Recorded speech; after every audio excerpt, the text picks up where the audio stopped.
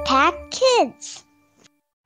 Selamat pagi anak-anak Impact Kids di rumah. Senang sekali Ibu dapat menjumpai anak-anak pada pagi ini dan pagi ini Ibu ingin mengajak anak-anak untuk merenungkan firman Tuhan yang diambil dari 1 Korintus 9 ayat 16. Mari kita berdoa terlebih dahulu.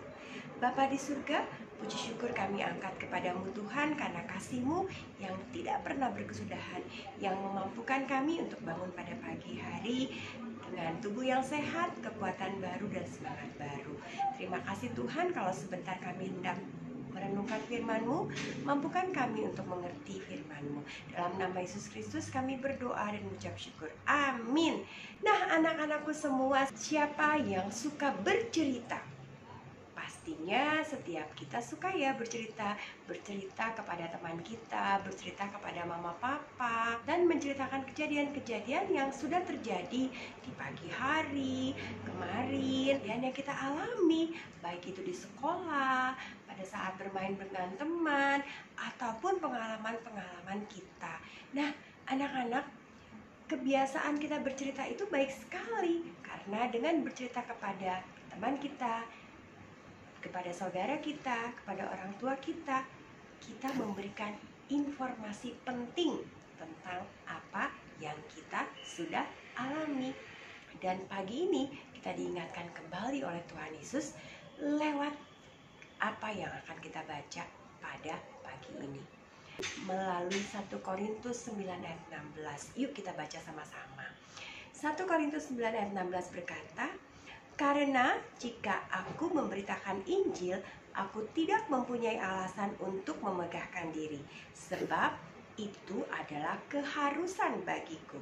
Celakalah aku jika aku tidak memberitakan Injil. Wow, anak-anakku, sebagai anak-anak Tuhan, kita harus memberitakan Injil, yaitu Yesus Kristus. Kita harus memberitakan kepada teman-teman kita yang belum kenal dengan Tuhan Yesus supaya mereka dapat keselamatan. Kita tidak boleh berhenti untuk menceritakan tentang Tuhan Yesus yang mengasihi kita, yang mengasihi keluarga kita dan mengasihi semua orang. Dan tentunya kita juga harus menceritakan kepada banyak orang bahwa Tuhan Yesus sudah datang ke dunia karena kasihnya ia mau menderita di kayu salib, ia mau mati untuk kita dan menebus dosa-dosa kita.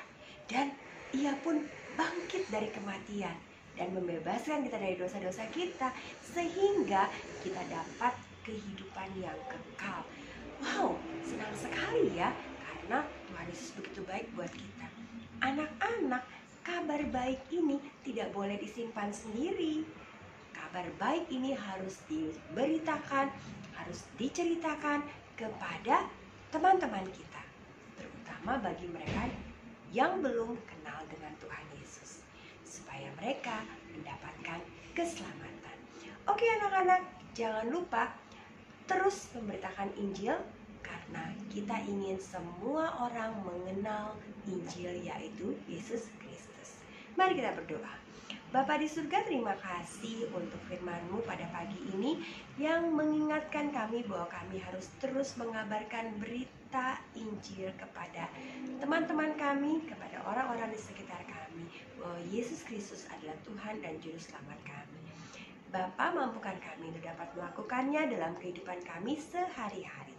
Terima kasih Tuhan Yesus, dalam namamu kami berdoa dan mengucap syukur. Amin.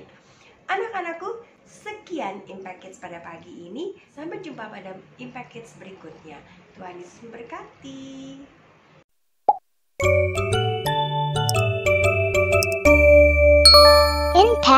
Kids.